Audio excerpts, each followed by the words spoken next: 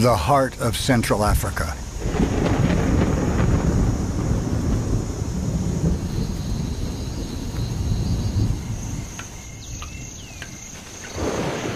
Home to the last mountain gorillas on Earth.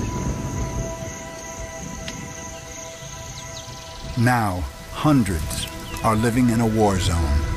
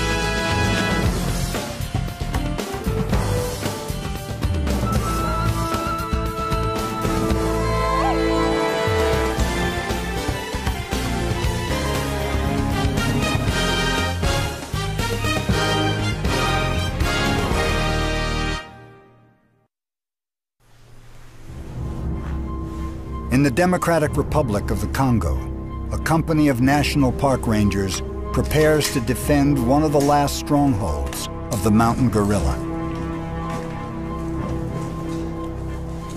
For more than 10 years, war has raged here. Now, rangers confront thousands of armed insurgents holed up inside Virunga National Park. At stake is a priceless wilderness.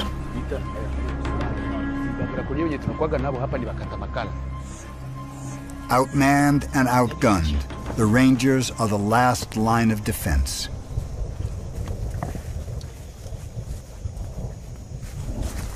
Photographer Brent Stirton was with the Rangers on July 22, 2007, when he was drawn into their worst nightmare. The Rangers all joined up and silently got into single file and continued to walk down this long path into the forest. We knew that something bad had gone down. You know, we were all very apprehensive. We didn't know what to expect.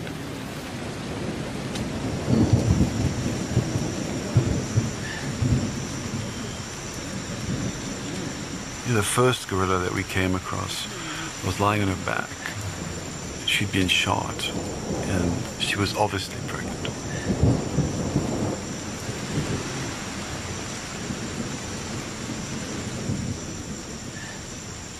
Effectivement, euh, We found that it was a female that had been killed. nous avons trouvé que d'abord c'était une femelle qui était morte. We felt it was our own sister who was dead.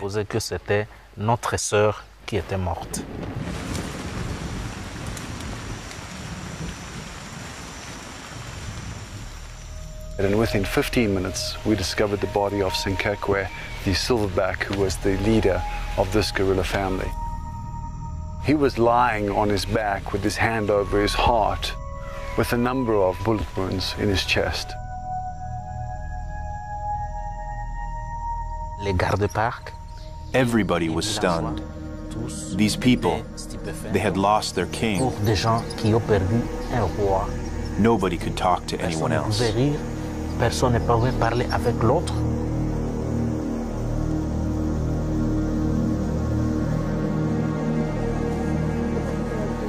They took leaves and bound the mouths and the wounds.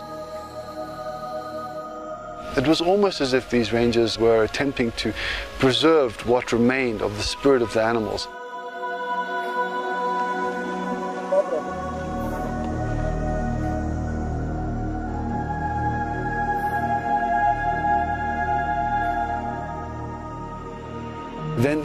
Lifted up onto the shoulders of men and then carried for miles until they reached the ranger's base. It was as if the best of Africa, the most dignity that they could assemble in the face of tragedy, was present in this procession.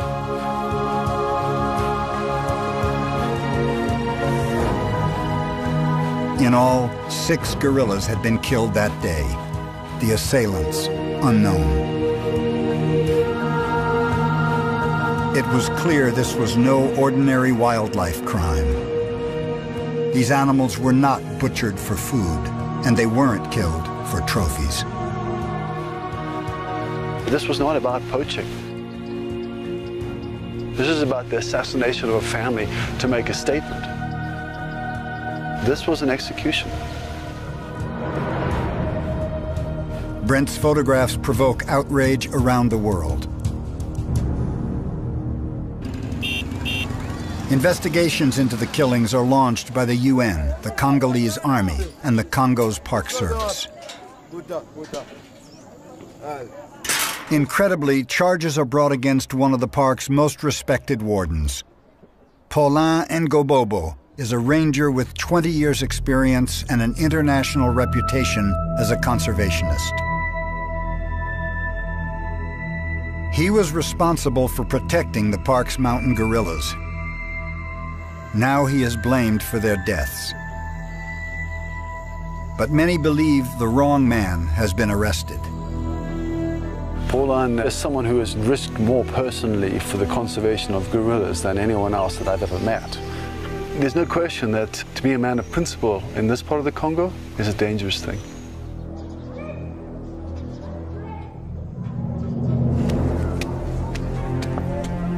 To uncover the truth, the Park Service has hired attorney Mathieu Singoro. He's collecting evidence, questioning rangers who might have information.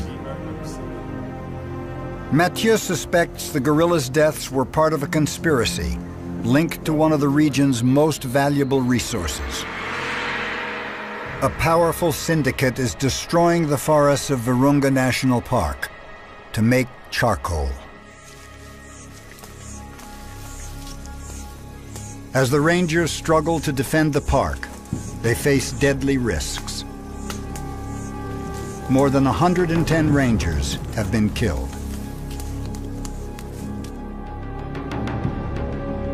Virunga National Park sits along the eastern border of the Democratic Republic of the Congo. The park's southern half is carpeted with old-growth hardwood forests, perfect for making charcoal. Leading this patrol is Ranger Officer Augustine Ruimo.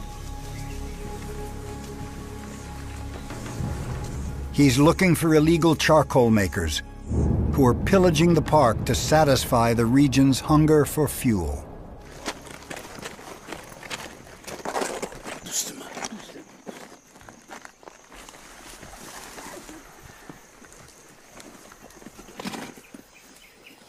It is um, the footprints of charcoal men. Kamata position kule.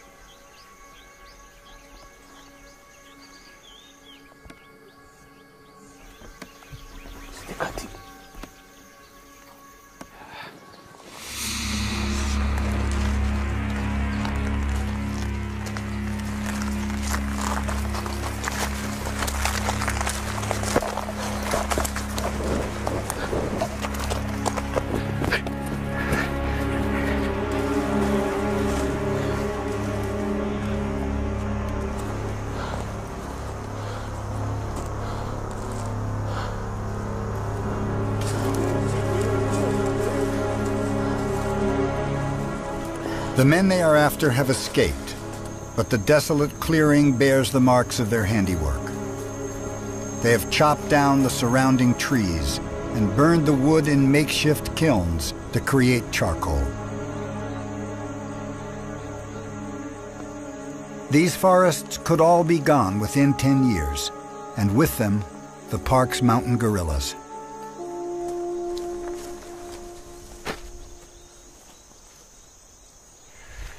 More than 50.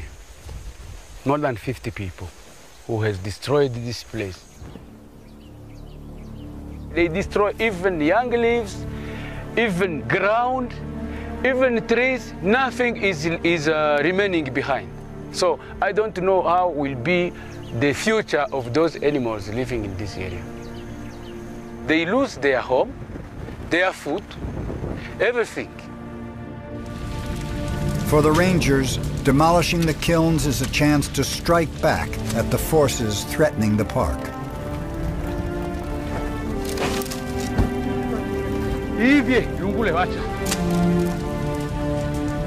The trade in illegal charcoal is said to be worth more than $30 million a year. With that much money at stake, the men who control it will let nothing stand in their way. Not the Rangers or the gorillas.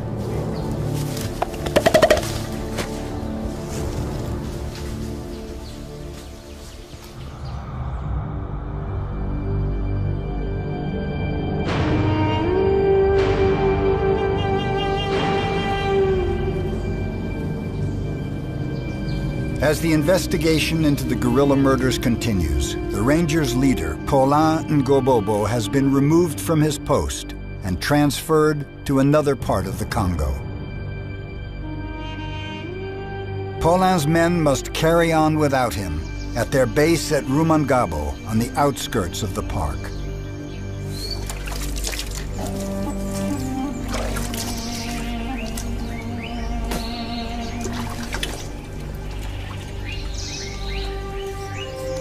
For Augustine, another tough day lies ahead. He faces too many problems, and he has already lost too many men. I feel very sad to see a lot of rangers be killed for this job. But I also accept to die by defending the nature. Many of these rangers are the sons and grandsons of rangers. They have devoted their lives to preserving this remarkable place. Virunga contains a greater diversity of plants and animals than any other park in Africa.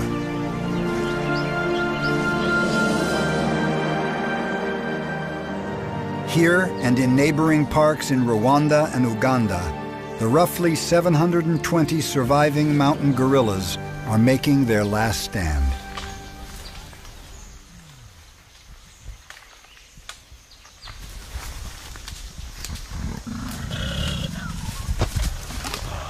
In spite of their size and strength, these creatures are generally peaceful.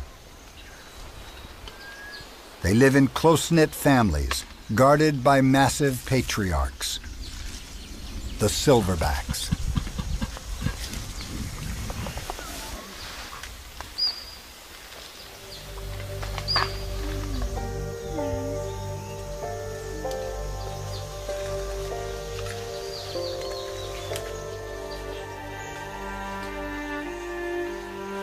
These are the animals made famous by Dian Fossey.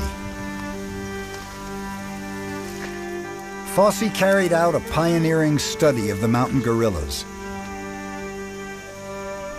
She spent 19 years exploring their secret lives.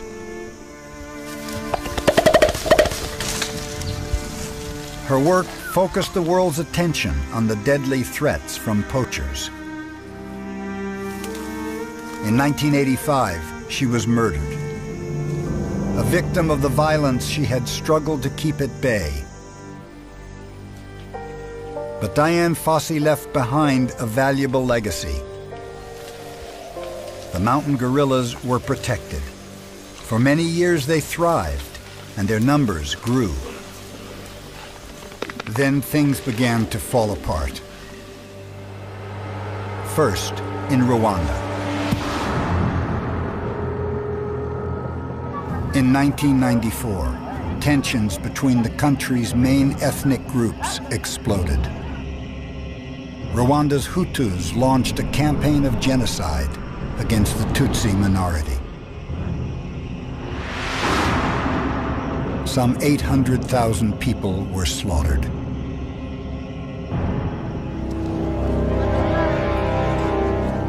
When it was over, up to 2 million Rwandans fled across the border into the Congo, pouring into the area around Virunga National Park. Their presence helped trigger civil war in the Congo. Much of the worst fighting took place in and around Virunga.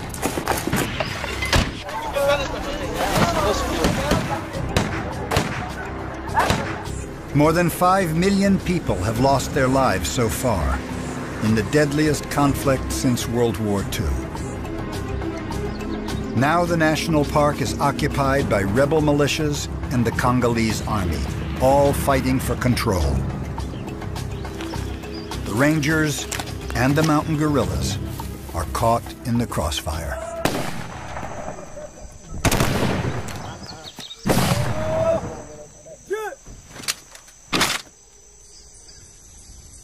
Despite overwhelming odds and terrible hardship, the Rangers' morale remains high.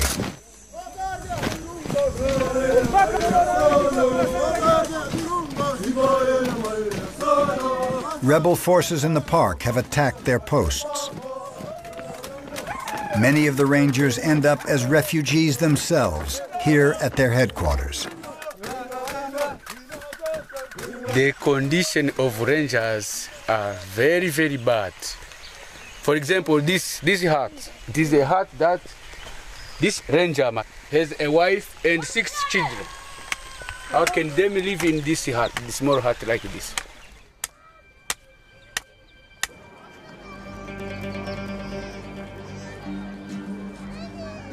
Sprawling refugee camps press right up against the boundaries of the park.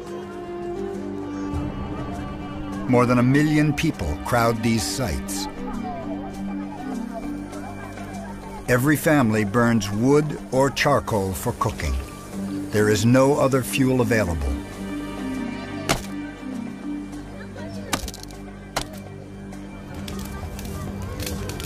Hillsides are stripped in the search for fuel.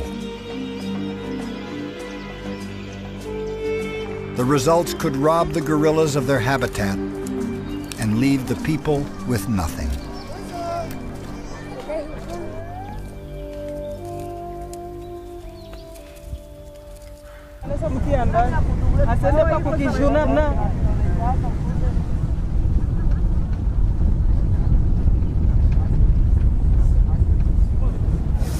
The Rangers have set up a checkpoint south of the park. These trucks are loaded with charcoal. As much as 90% of it is illegal, made from Virunga's trees.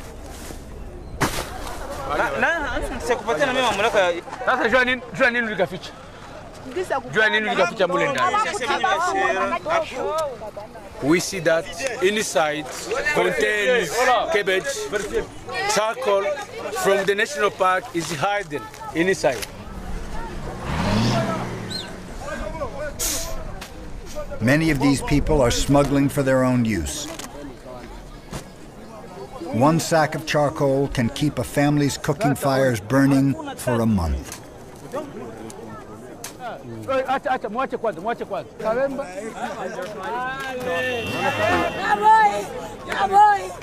This woman says she had no idea her charcoal came from the park. The rangers have no choice. It must be confiscated.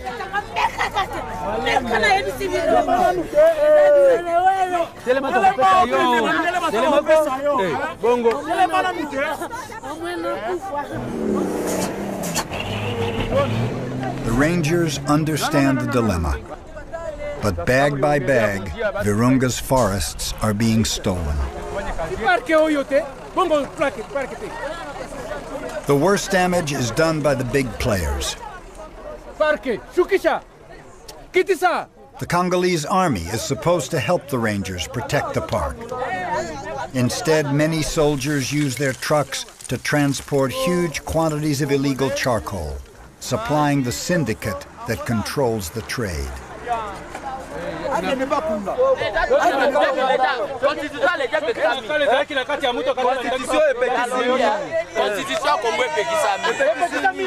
Soldiers, charcoal. With each bag of charcoal they seize, the rangers are making powerful enemies. This letter was found at Rumangabo Park Station. Just one day after we have arrested the two big trucks here. The letter says this. They are going to attack and kill us, all of us, even in Rumangabo, even here, even if we hide in Goma, they know where we stay. It is not bad. We agree to die, but we continue with our work.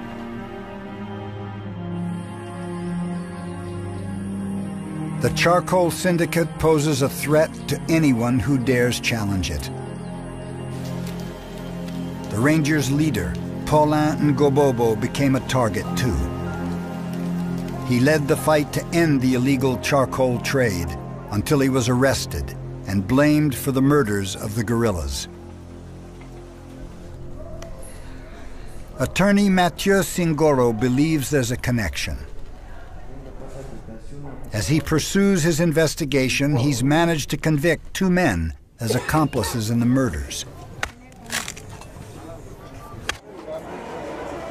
They're serving eight months in a Goma prison, but they still maintain their innocence. We don't know how the animals were killed. We don't know who the killer is. We didn't do it. Mathieu believes they are covering up for someone else. Someone high up in the charcoal racket, who orchestrated the killings and pinned him on Paulin. Those who took the weapons to kill the gorillas are still out there somewhere. The main masterminds, that is, the brains behind it, the ones that came up with the idea to kill the gorillas, are still out there. As for the Rangers, their job has just gotten a lot harder and a lot more dangerous. Six weeks after the murders, a rebel army has taken over the park's gorilla sector and forced the Rangers out. The mountain gorillas are now cut off from the outside world, and no one knows how many remain alive.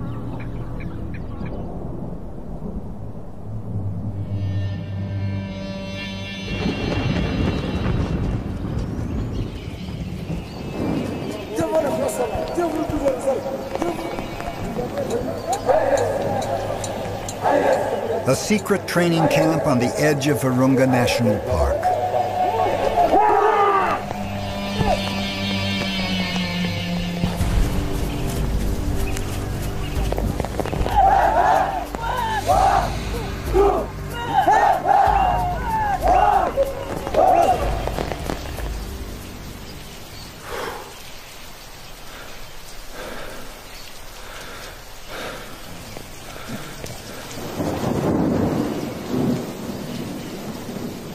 Fate of the Congo's mountain gorillas is now in the hands of one man, the rebel general Laurent Nkunda.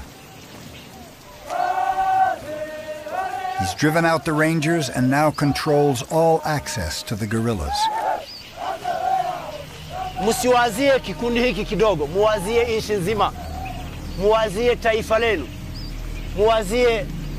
yote.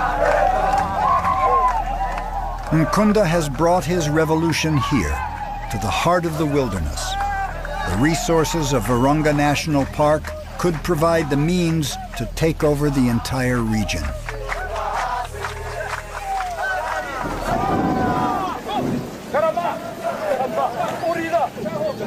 Today's commando demonstration is intended to impress their leader.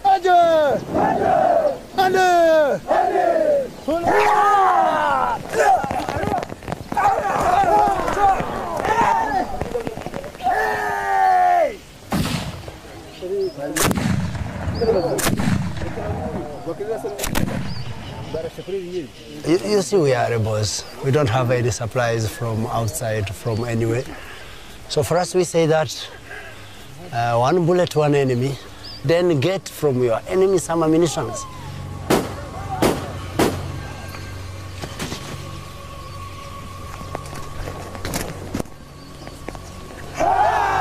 Nkunda says his mission is to protect Congolese Tutsis from the fate the Tutsis suffered during the Rwandan genocide.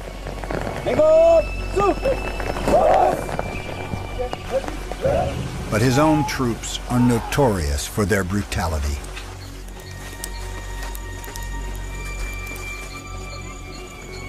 Nkunda is wanted for war crimes. His men are accused of killing and raping civilians and forcibly recruiting children as soldiers. Now, this alleged war criminal has become the custodian of an endangered species. We took the gorilla sector last year, not because they were gorillas, but because it was a strategic point for us to fight our war.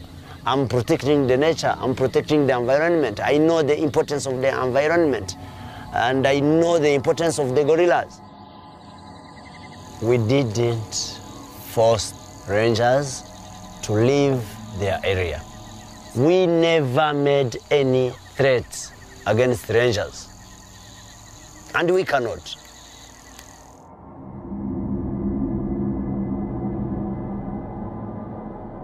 One ranger tells a different story. Aniset Bazahero says he was at his patrol post in the park when Kunda's troops attacked. He was captured and imprisoned along with a dozen others.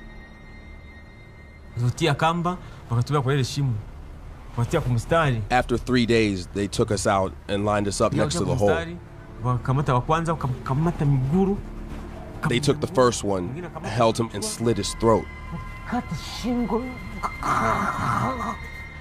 I was pleading, God receive me. God receive me. My body was shaking like this, like someone who had fallen into cold water, and I was holding myself, shaking, like someone with malaria. According to Aniset, the rebels decided that he was too useful to kill. He was forced to work as a tracker, guiding them through the jungle. Then they turned on him. They beat me so badly that they thought I had died. They said, This one is dead. Leave him here now so we can get on with our work.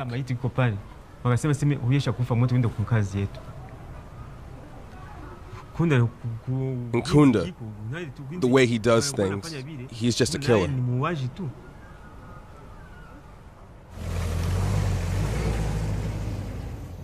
I can tell you that the most organized army and the most administrated area is the area under our control and the army under our command. So how can I be a criminal? Nkunda's control of the gorilla sector is especially troubling, given his army's recent history. His men reportedly killed and ate two gorillas and threw the remains of one into a latrine. It's a charge the general denies.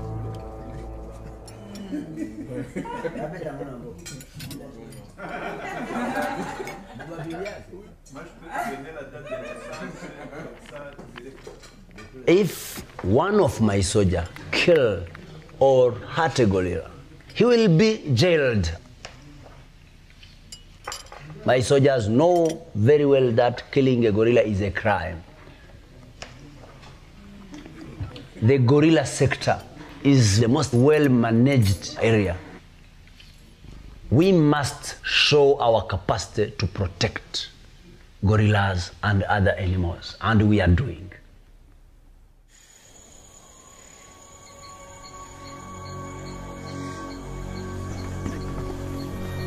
To prove that the gorillas are safe, Nkunda is sending his men out to track them down. Deserted villages are strung out along the park boundary. The residents fled for their lives when the rebel army swept through.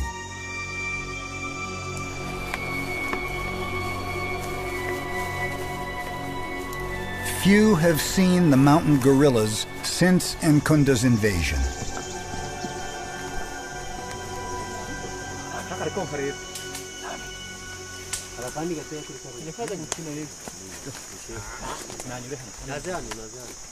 These are the gorillas the rangers have fought so hard to protect. Nkunda's men are not gorilla experts. They disturb these sensitive animals by getting too close.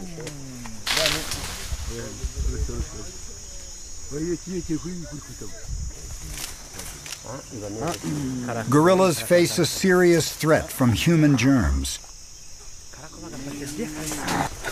A single sneeze could infect an entire group and wipe them out.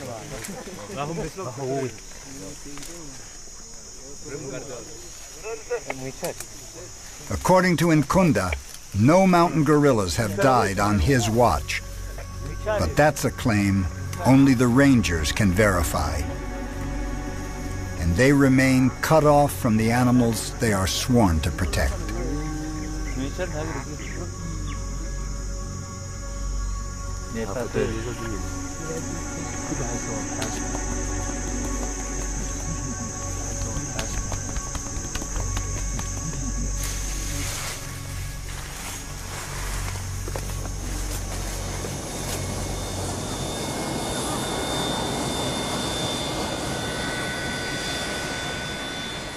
Goma International Airport. An early morning flight from Kinshasa.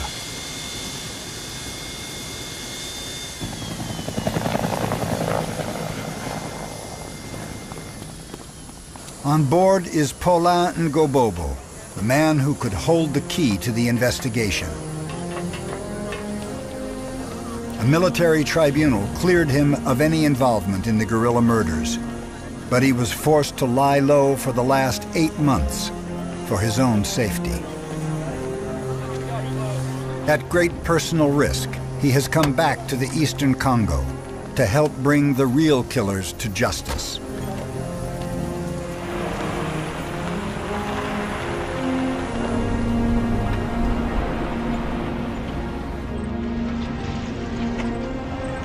Before the murders, he spent more than a year trying to dismantle the charcoal racket in this area.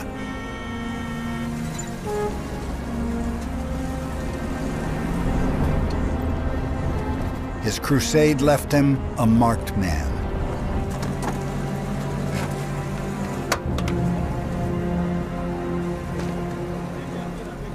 Investigating attorney Mathieu Singoro has arranged for Paulin to give a secret deposition. For security reasons, he must tell what he knows behind closed doors.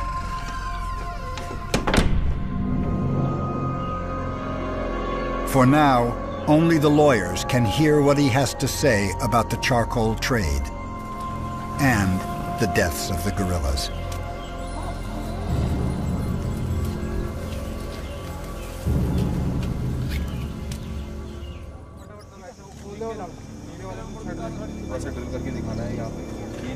The investigation has reached a major turning point. Paulin has named names, and now he is in greater danger than ever. He is under the protection of the UN, guarded by a team of peacekeepers from the Indian Army. They are escorting him on a journey back to the ranger station at Rumangabo.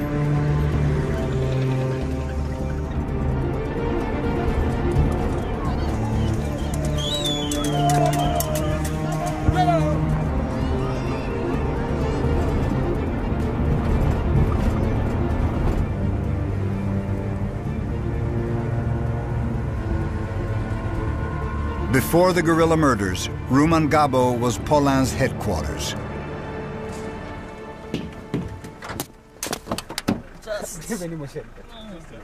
His return could mark the end of a dark chapter in the Rangers' history.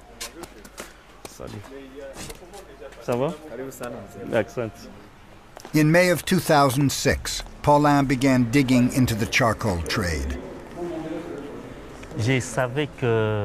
Je savais que la, la corruption existe, mais je ne pouvais pas. I knew there was corruption, but I couldn't imagine that somebody with a high rank, somebody with a top job in the heart of the park, could be involved in this business. pouvait lui-même être impliqué dans des magouilles comme ça.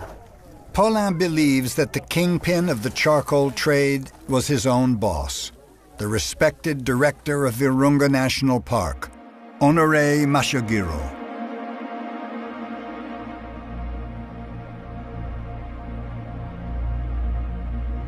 Pas presque, officiel. He is definitely the man who legitimized the charcoal trade in this area, because everything started when he was the director. Cette carbonisation officiellement, ma grande preuve, c'est The main proof came from the participants themselves. They came to me to propose that I join the charcoal network. And when I understood, I told them my position. I said thanks for explaining, but no thanks. I cannot do what you propose. je ne peux pas faire ce que vous êtes en train de me proposer. Paulin's accusations are shocking. Attorney Mathieu Singoro files an official complaint against Mashagiro. He is arrested and sent to prison. Charged with involvement in the charcoal trade and in the gorilla murders. Six park rangers are also charged as accomplices. Honore Mashagiro is a wealthy and powerful man. Within three days, he is released from prison.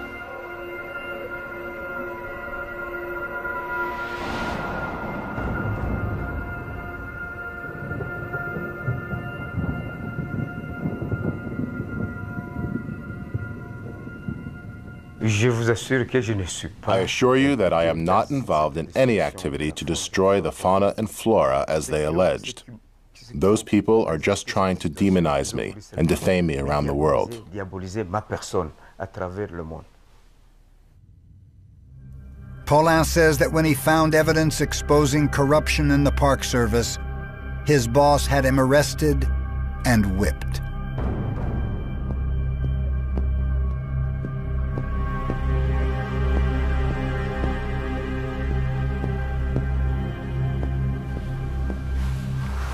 Moi, je l'ai fait arrêter quand je l'ai fait. I had him arrested? When did I have him arrested and whipped? When? I never had him whipped, please. Never.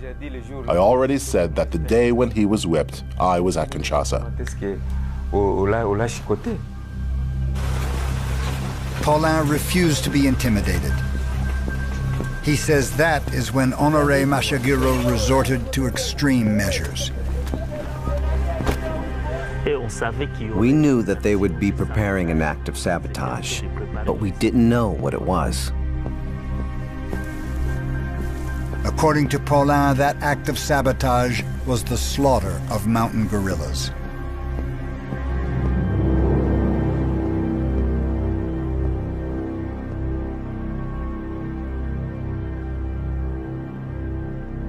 le plan des tueries des gorilles, c'est un plan The plan to kill the gorillas was a plan constructed and executed by our own park officials, propres agents. Et en starting with the boss. La tête. Les gorilles ont été victimes. The gorillas were the victims of a mafia system. Ce réseau-là, qui a à la tête. It was this network, with Warden Mashagiro at the head, with his sidekicks, who organized this just to get revenge for my efforts to end the charcoal trade. To get me to leave, to get me in trouble with the law, so they could carry on with their filthy racket. Sale besoin de décarbonisation. Bon, d'accord, s'il y a le, le- s'il y a Well, okay. s'il y a des- If there is proof that I was involved in the illegal charcoal business or that I killed the gorillas, if there's proof, bring it on.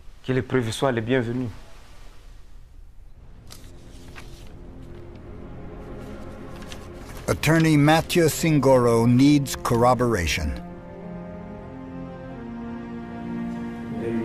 Paulin's courage has inspired other rangers to come forward. Mathieu is finally getting what he needs to bring this case to trial. But given Honore Mashagiro's power and connections, proving his guilt could be an uphill battle.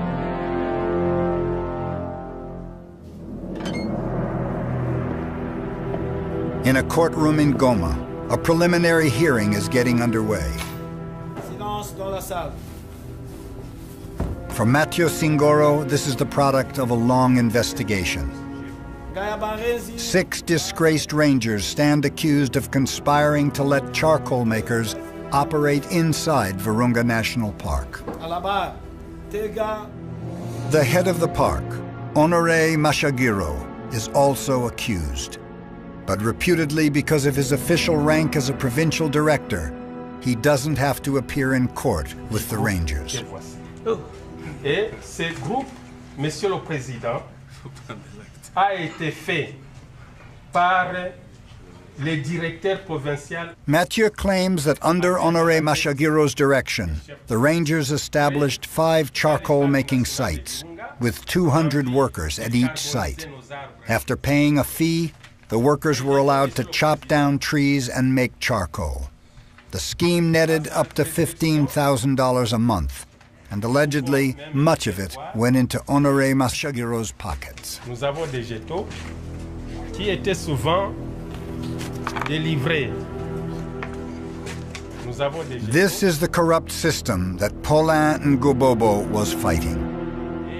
Ce n'est que les six personnes qui faisaient cette administration parallèle contre M. Paulin qui essayait d'éradiquer cette carbonisation. Il faut commencer à tuer des gorilles. À ce niveau, l'enquête a révélé que ce sont les véritables auteurs de l'abattage des quatre gorilles. Un certain Machagiro Honoré dirigeait ce parc, Monsieur le Président, et ce parc était détruit de cette manière, sans même rapport, sans même reproche, Monsieur le Président. Les chefs de piste.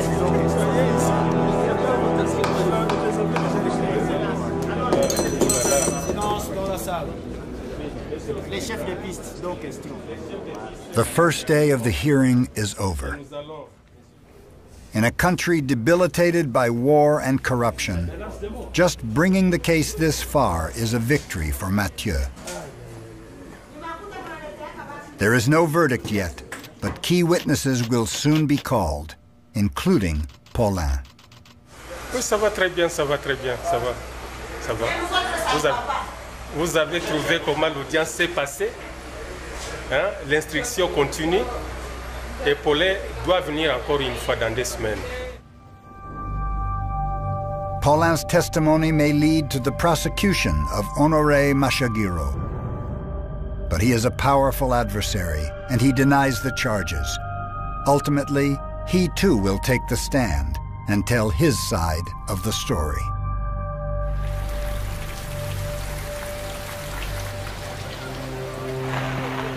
The Rangers' struggle to save the park continues. Augustine is still dealing with the flood of illegal charcoal.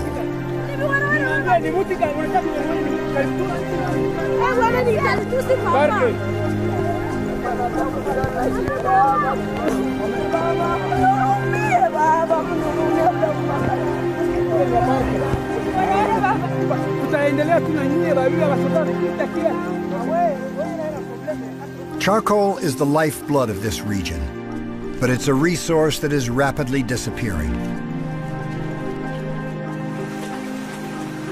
Each new outbreak of fighting swells the ranks of refugees, increasing the pressure on Virunga's remaining forests.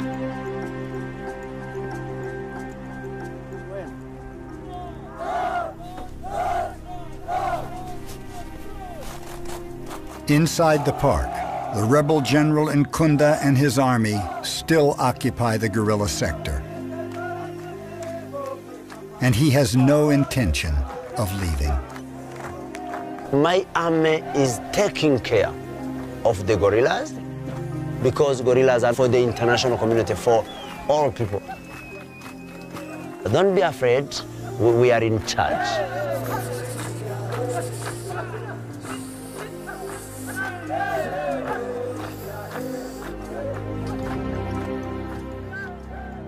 As the Rangers confront the forces that endanger the park, they continue to pay the ultimate price.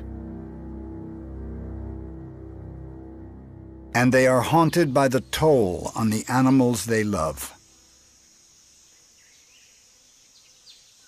Senkwekwe and the other murdered gorillas lie buried in a makeshift cemetery at Rumangabo.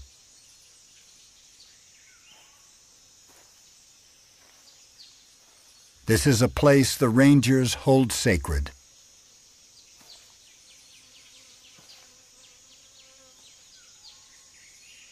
When I come here and look at the graves, it constantly reminds me of man's cruelty and absurdity. Separation is hard to bear with someone you knew so well and spent so much time trying to love and protect. It makes me wonder if I did everything in my power to prevent the massacre. Is there anything else I could have done to protect Senkwekwe and his family? I guess I'm just a man. I'm not God.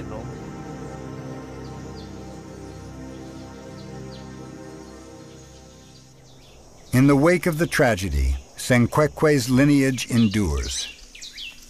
Twice a week, rangers head into the forest on a special assignment. They're collecting the choicest leaves for an extraordinary gorilla. Her name is Ndeze. She's a survivor of the massacre. The daughter of Senkwekwe.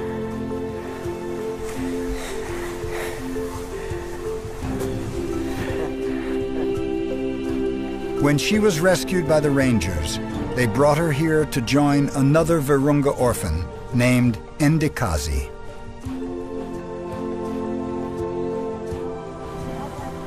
These rangers have undergone training and quarantine to care full-time for baby gorillas.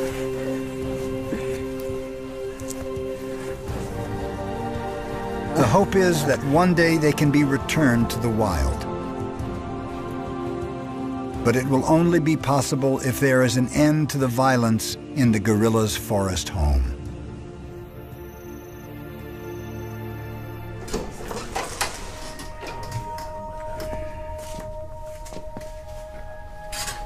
For now, the orphans are safe in the ranger's care.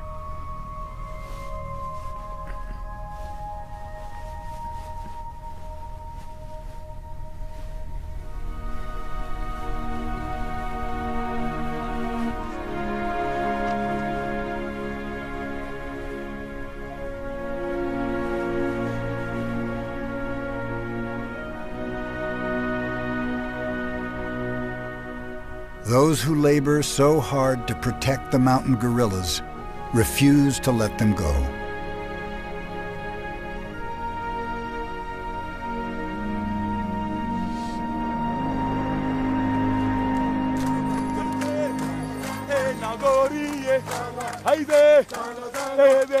With their spirits unbroken, the Rangers have their sights set on tomorrow.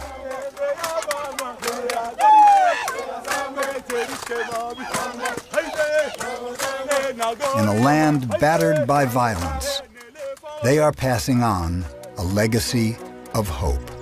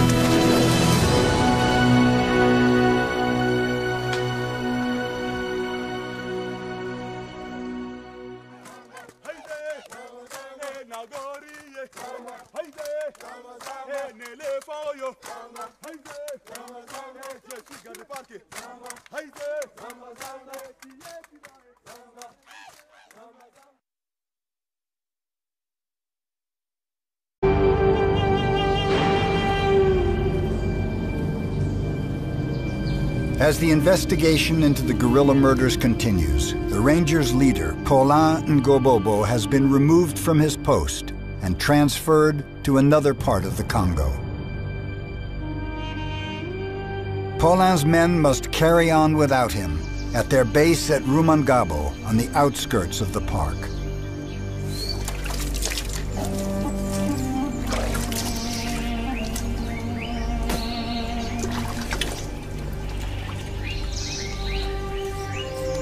For Augustine, another tough day lies ahead.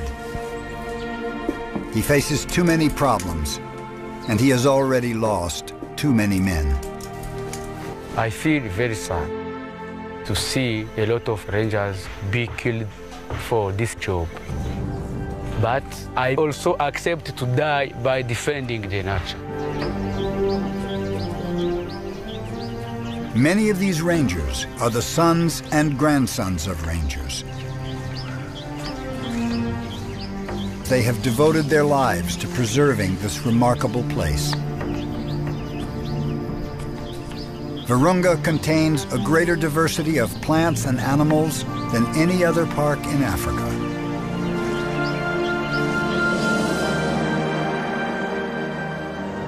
Here and in neighboring parks in Rwanda and Uganda, the roughly 720 surviving mountain gorillas are making their last stand.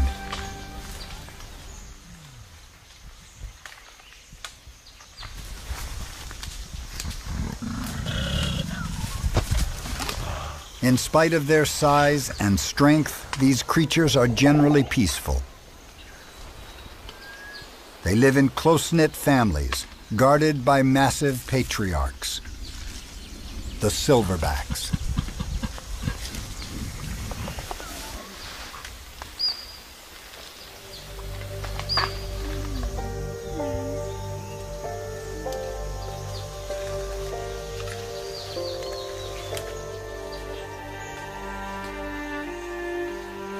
These are the animals made famous by Dian Fossey. Fossey carried out a pioneering study of the mountain gorillas. She spent 19 years exploring their secret lives.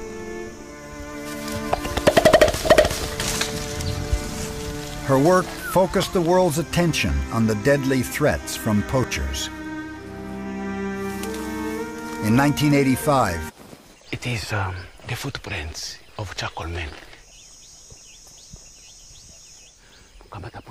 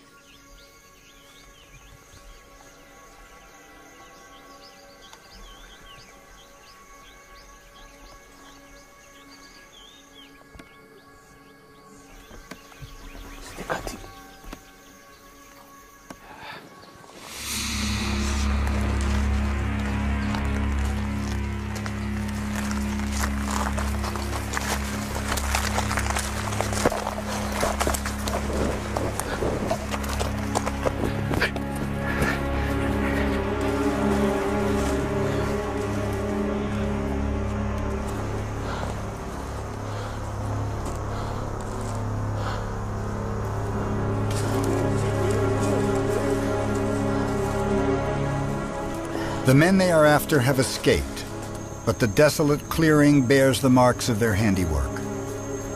They have chopped down the surrounding trees and burned the wood in makeshift kilns to create charcoal. These forests could all be gone within 10 years, and with them, the park's mountain gorillas.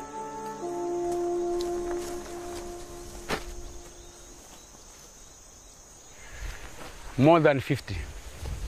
More than 50 people who has destroyed this place. They destroy even young leaves, even ground, even trees, nothing is, is uh, remaining behind. So I don't know how will be the future of those animals living in this area. They lose their home, their food, everything. For the rangers, demolishing the kilns is a chance to strike back at the forces threatening the park.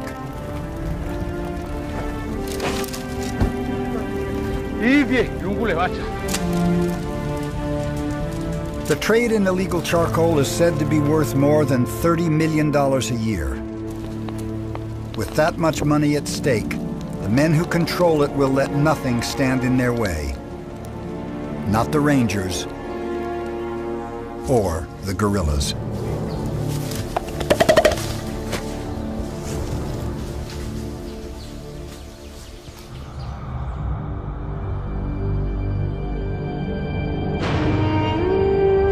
were not butchered for food, and they weren't killed for trophies. This was not about poaching. This is about the assassination of a family to make a statement. This was an execution. Brent's photographs provoke outrage around the world. Investigations into the killings are launched by the UN, the Congolese army, and the Congo's Park Service. Incredibly, charges are brought against one of the park's most respected wardens. Paulin Ngobobo is a ranger with 20 years' experience and an international reputation as a conservationist. He was responsible for protecting the park's mountain gorillas, now he is blamed for their deaths. But many believe the wrong man has been arrested. Paulin is someone who has risked more personally for the conservation of gorillas than anyone else that I've ever met. There's no question that to be a man of principle in this part of the Congo is a dangerous thing.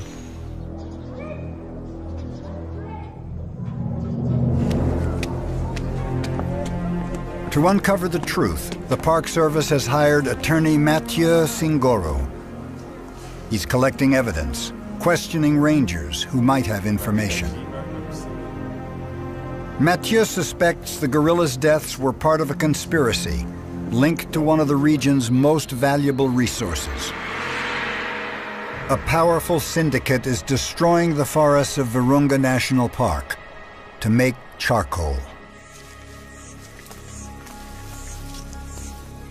As the rangers struggle to defend the park, they face deadly risks.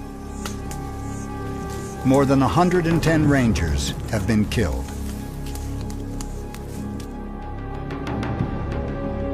Virunga National Park sits along the eastern border of the Democratic Republic of the Congo. The park's southern half is carpeted with old-growth hardwood forests, perfect for making charcoal. Leading this patrol is Ranger Officer Augustine Ruimo. He's looking for illegal charcoal makers who are pillaging the park to satisfy the region's hunger for fuel.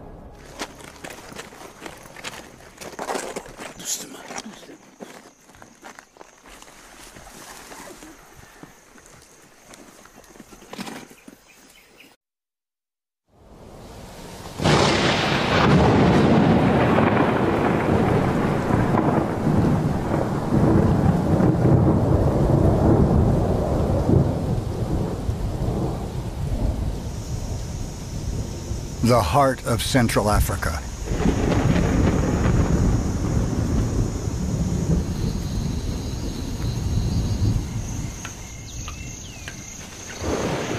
Home to the last mountain gorillas on Earth. Now, hundreds are living in a war zone.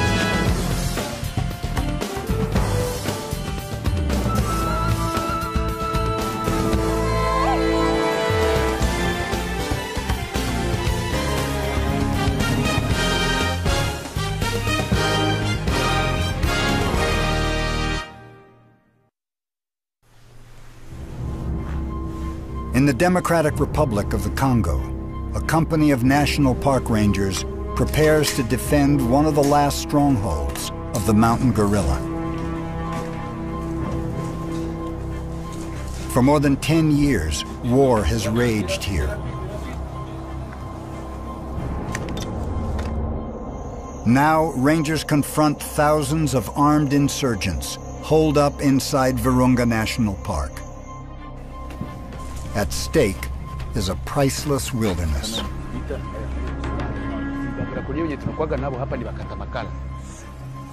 Outmanned and outgunned, the Rangers are the last line of defense.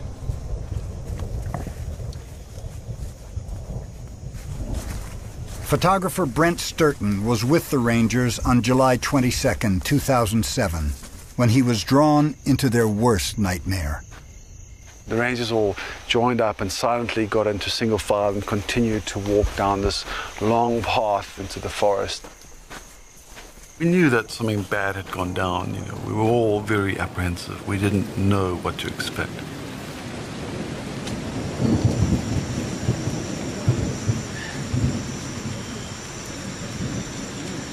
The first gorilla that we came across was lying on her back.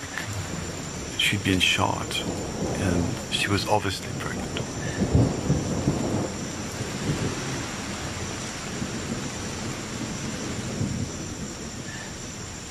Effectivement, euh, we found that it was a female that had been killed.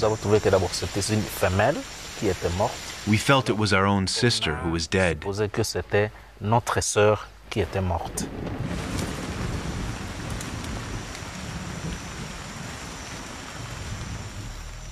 And within 15 minutes, we discovered the body of Senkwekwe, the silverback who was the leader of this gorilla family. He was lying on his back with his hand over his heart, with a number of bullet wounds in his chest. Les gardes-parcs. Everybody was stunned. These people, they had lost their king. Des gens qui ont perdu un roi. Nobody could talk to anyone else. Personne parler avec l'autre.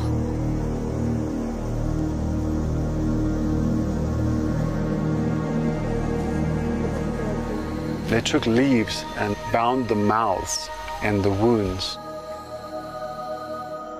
It was almost as if these rangers were attempting to preserve what remained of the spirit of the animals.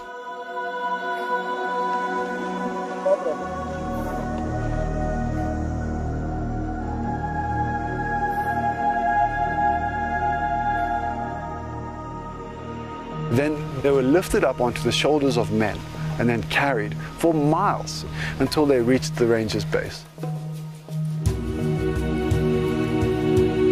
It was as if the best of Africa, the most dignity that they could assemble in the face of tragedy, was present in this procession.